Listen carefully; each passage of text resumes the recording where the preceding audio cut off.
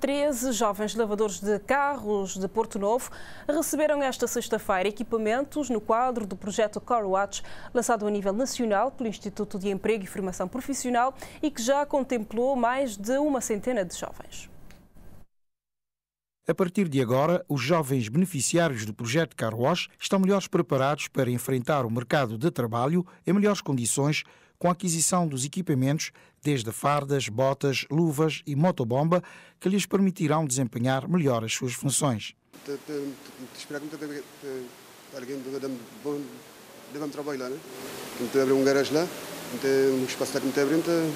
ficar agradecido que a Câmara da gente esse apoio.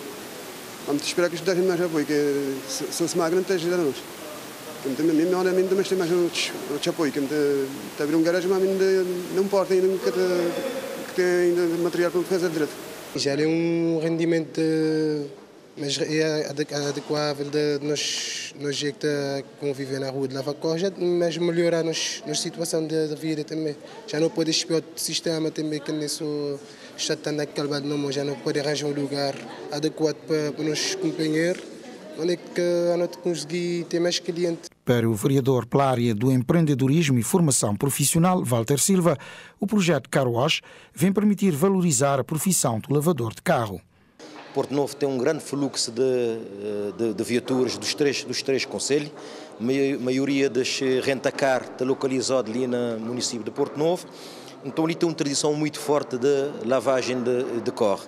Não tem jovens que se pequeno espaço, se pequeno estabelecimento e se quite permite reforçar, eh, no fundo, se prestação de serviço e, no fundo, também obter mais e melhor rendimento para si dia a dia.